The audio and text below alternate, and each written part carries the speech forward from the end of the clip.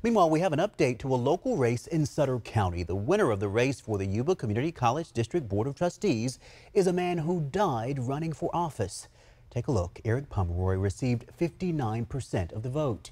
He was a beloved Sutter County Assistant Superintendent when he died driving his daughter to a swim meet back in October.